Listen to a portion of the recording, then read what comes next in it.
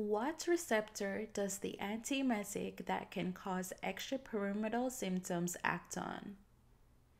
Another hint is that this antiemetic can also be used to treat diabetic gastroparesis.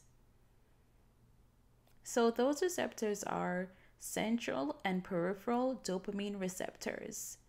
The antiemetic that I'm referring to is metoclopramide, and on you can see commonly related to indications for antiemetics or gastroparesis, as well as the side effect of causing extrapyramidal side effects. So just remember that drugs that are dopamine receptor antagonists, such as metoclopramide, they can cause extrapyramidal side effects.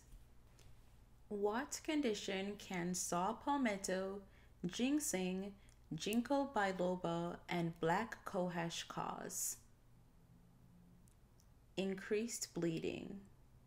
What antibiotic can potentiate effects of sulfonylureas and lead to hypoglycemia? Bactrim or trimethoprim?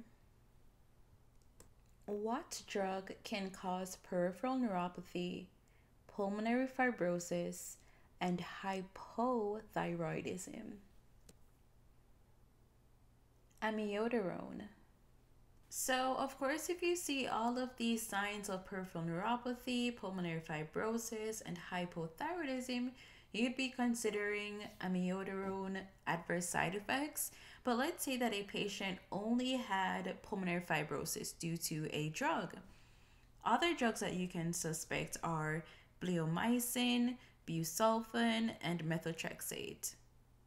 What is the treatment of choice of a patient with a history of diabetes, complete occlusion of the ear canal, and periauricular erythema, fever, and lymphadenopathy? Systemic antibiotics and debridement if necessary.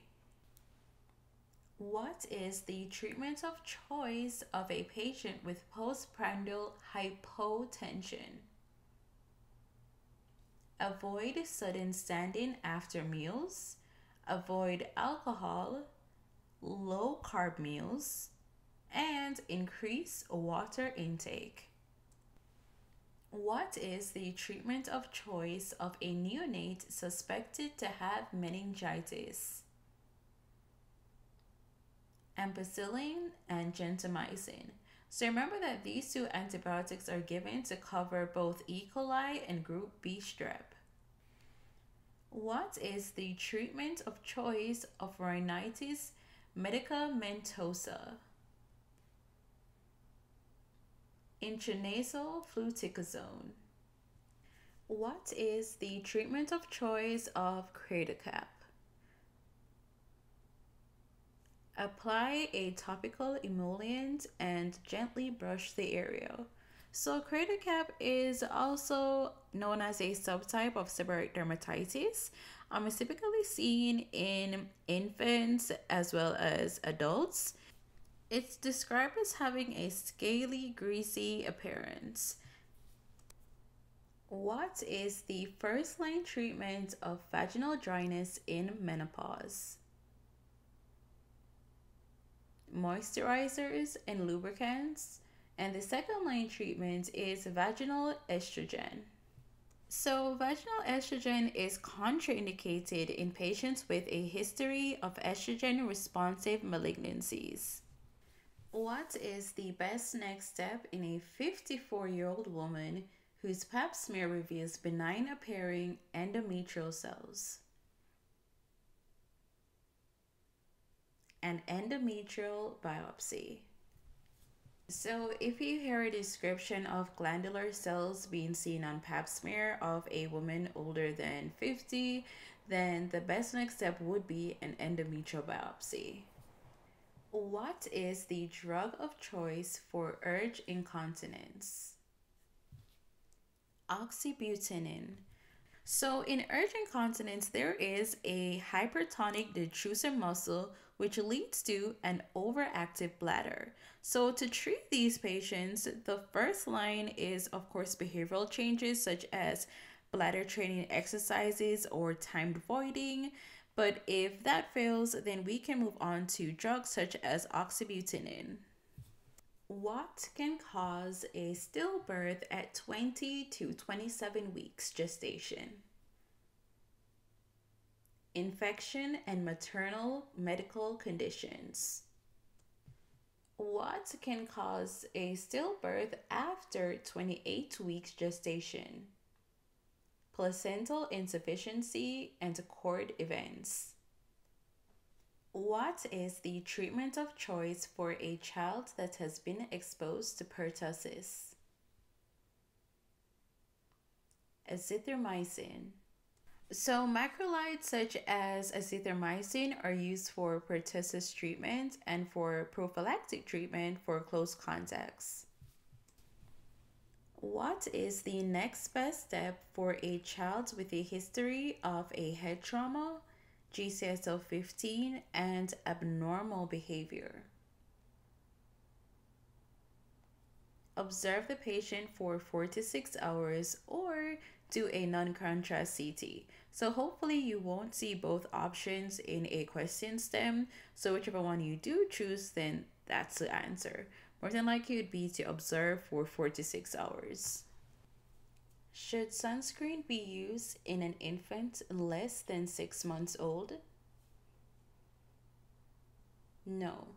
So, for an infant that is six or less than six months old, you should typically just avoid the sun during peak times and use protective clothing. What measures can elderly patients with urinary incontinence take if they cannot make lifestyle modifications or use medications? The use of incontinence garments, local skincare, scheduled voiding, and a bedside pen. What is the first line treatment for juvenile myoclonic epilepsy? Valproic acid. A high yield fact that you must know about valproic acid is that it is the most dangerous anti epileptic in pregnant women because it has the highest risk of neural tube defects. So, valproic acid is a teratogen and it is also hepatotoxic. What is the treatment of choice for traveler's diarrhea in kids? And that's the macrolide azithromycin. What are some red flag signs of irritable bowel syndrome? Rectal bleeding, worsening abdominal pain, nocturnal abdominal pain, weight loss, and abnormal lab results. What screening tests should be done prior to testosterone therapy? Prostate cancer, hematocrit levels, screen for obstructive sleep apnea, and heart failure. What is the treatment of choice of nosebleeds in pregnancy? nasal saline spray. They can also use petroleum jelly and some mouth exercise to cause vasoconstriction as well. So, nosebleeds are common in pregnancy due to the effects of progesterone on the nasal mucosa and also due to altered sensitivity to allergens during pregnancy. What antihypertensive can cause hypoglycemia, bradycardia, hypotension, bronchospasms, and heart block. Beta blocker toxicity. What drug can cause hypotension, hyperkalemia, and scooped ST segments on EKG? Digoxin toxicity. So, bonus question is what electrolyte disturbance can predispose a patient to digoxin toxicity? And that is hypokalemia. So, hypokalemia can predispose a patient to digoxin toxicity, and an adverse effect of digoxin is hyperkalemia. So that can be quite confusing for the hypokalemia and the hyperkalemia. So make sure that you take a note of that so you don't get it confused on exam day. What asthma medication can be associated with hoarseness and laryngitis? Inhaled corticosteroids. How often should patients with Down syndrome be screened for hypothyroidism? At six months, 12 months, and then annually. What is the most common tachyarrhythmia in sick sinus syndrome? Atrial fibrillation. What dermatologic condition is caused by the pox virus? Molluscum contagiosum. How can miliaria rubra be treated?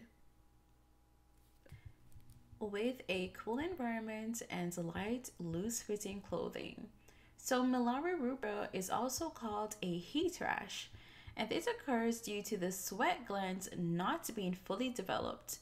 So, sweat accumulates and obstructs the eccrine sweat glands, leading to erythematous papular rash, and this can be itchy and painful. What test should be done in a child with a BMI greater than 95%? A lipid panel.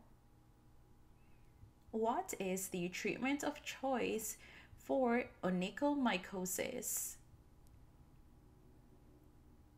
Terbinafine for 12 weeks. What is the most common cause of hirsutism in women? polycystic ovarian syndrome. Another bonus question is What is the most common cause of infertility in women? Ovulatory dysfunction that can also be seen in PCOS. What is the treatment of choice for Bartonella? Azithromycin. You can also use doxycycline. What thyroid changes occur in pregnancy? Decrease TSH due to beta HCG. When are hiccups considered to be intractable? That's when a patient has hiccups for more than one month. So, intractable hiccups can indicate serious underlying disorders that will require further evaluation, such as a phrenic or vagal nerve irritation, a CNS issue such as AV malformations, a cardiac disorder, or an upper GI disorder. So, you need to do a thorough physical exam and basic lab studies in patients with intractable hiccups.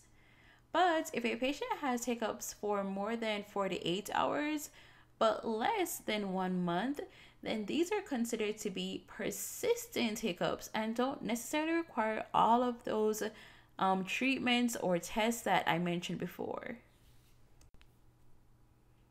What cholesterol medication may have been shown to increase the risk of new onset diabetes? statins. Injury of what nerve can cause postpartum urinary retention? Pudendal nerve injury. Injury of what nerve can cause decreased sensation at the upper lateral thigh in a pregnant woman? Injury of the lateral femoral cutaneous nerve. What is the treatment of choice for moderate to severe croup with stridor at rest? Steroids, and nebulized epinephrine. What is the treatment of choice for depression that does not have sexual side effects? Mirtazapine. What is the first line treatment for nausea and vomiting in pregnancy? Dietary modification. And if that doesn't work, then you can try doxylamine and vitamin B6. What antimitotic agent can be used to treat anogenital warts? Podophyllin. What instructions can be given to a patient for maximum iron absorption? To take the iron with a citrus juice on an empty stomach without any antacids or acid blocking drugs. What is the treatment of choice for exercise induced urticaria? A second generation H1 blocker. What is the treatment of choice for oral thrush in infants? Topical nystatin. What is the daily calcium requirement for adolescents? 1,300 milligrams. What drugs can cause gynecomastia? Chronic marijuana use, alcohol, amphetamines, and these other drugs. What drug can be used for preeclampsia prevention? Low dose aspirin.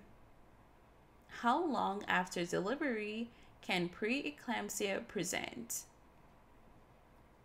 Up to six weeks after delivery.